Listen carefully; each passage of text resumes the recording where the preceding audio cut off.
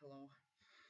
Video diary number one, February 17th, 9.09 p.m. Mom said we moved into this house because it's cheap, but I know the truth. A walrus lived here. Willy the Walrus was his name.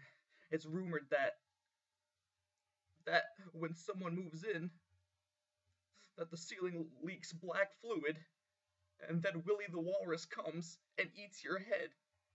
But, you know, don't really believe it because, you know, but, well, that's not good.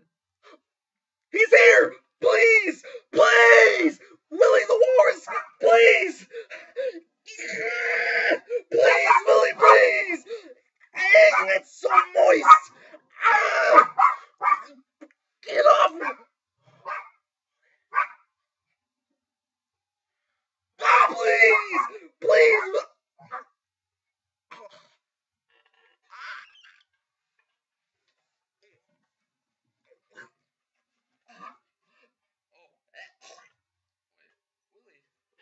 Ah!